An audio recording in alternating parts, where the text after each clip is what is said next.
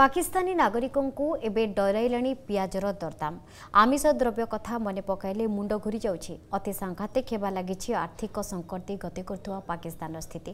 ଦୈନନ୍ଦିନ ବ୍ୟବହାର ହେଉଥିବା ଜିନିଷର ମୂଲ୍ୟ ଅସମ୍ଭବ ଭାବେ ବୃଦ୍ଧି ପାଇବା ଲାଗିଛି ବନ୍ୟା ଭଳି ପ୍ରାକୃତିକ ବିପର୍ଯ୍ୟୟରୁ ଦେଶ ମୁକୁଳିବାକୁ ଚେଷ୍ଟା କରୁଥିବା ବେଳେ ଏବେ ମୁଦ୍ରାସ୍ଫୀତି ବୃଦ୍ଧି ପାଲଟିଛି ବୋଝ ସୂଚନା ଅନୁସାରେ ପାକିସ୍ତାନରେ ପିଆଜ କେଜି ପିଛା ଦାମ ପାଞ୍ଚଶହ ଏକ ପ୍ରତିଶତ ବଢ଼ିଯାଇଛି ଦୁଇ ହଜାର ବାଇଶ ଜାନୁଆରୀ ଦଶରେ ପିଆଜ ଦାମ ପାକିସ୍ତାନ ମୁଦ୍ରାରେ ଛତିଶ ଦଶମିକ ସାତ ଟଙ୍କା ଥିଲା ହେଲେ ଦୁଇ ହଜାର ତେଇଶ ଜାନୁଆରୀ ଆଜିର ଦିନରେ ଏହାର ଦାମ ଦୁଇଶହ କୋଡ଼ିଏ ଟଙ୍କା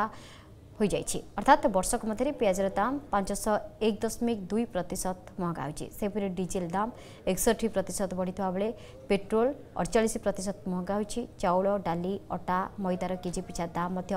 পচাশ প্রতর অধিক বড়ছে স্থিতি এপরি হয়েছে যে পাকিস্তানবাসী চিকেন দাম শুনে এতে হাত মারা ভয় করছেন